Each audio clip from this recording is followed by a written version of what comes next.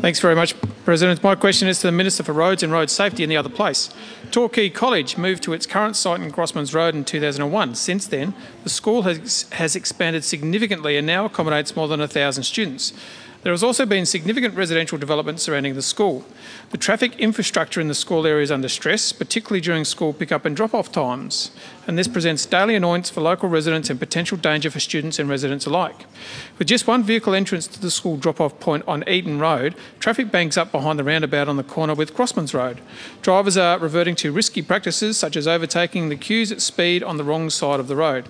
For students, this is just uh, there is just a single pedestrian crossing on Grossman's Road Road, so they often resort to playing chicken on Eaton Road, leaving them exposed to this poor driving behaviour.